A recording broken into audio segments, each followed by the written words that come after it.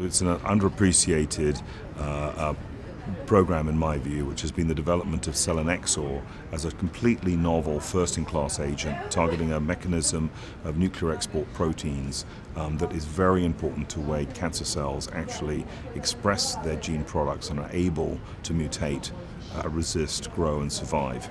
I guess the analogy of way of thinking about it, Tom, is that um, the proteins that sit within the nucleus and suppress these genes are exported by the cancer cell. And so it's almost as if the parents have left home and the kids are going to have a rave. And the bottom line is what selinexor does is stop that process and keep the parents at home. No rave, just wine and cheese. So basically, people behave as opposed to go crazy. And literally, that's how this drug works. It's fascinating because it's orally bioavailable. It is um, given typically once or twice a week, in combination typically weekly, but in our uh, STORM study, because it was single agent with dexamethasone, we actually gave it twice a week. In that context, um, we were able to demonstrate that when you started at a certain dose, you could then dose reduce to improve tolerability, but very, very importantly, about a third of patients responded, even though they were triple class resistant and so-called penta-refractory. These are very, very sick patients. And emblematic of that, and this is kind of what we showed in the poster presentation today, was that if you looked at the patients who didn't respond, their survival was less than two months, which shows how sick these folks are. Having said that, the patients who did respond did much, much better. And we saw survivals that were in excess of a year. So when you start to see that kind of information emerging, you start to realize that this drug probably has some merit.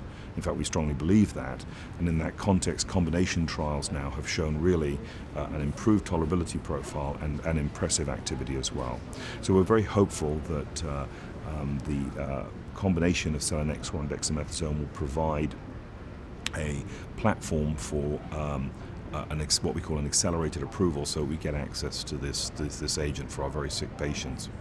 One point to make about the data we presented is that obviously in any kind of single-arm clinical trial, it's very important to understand what the patient population does in the absence of an effective therapy or in current practice.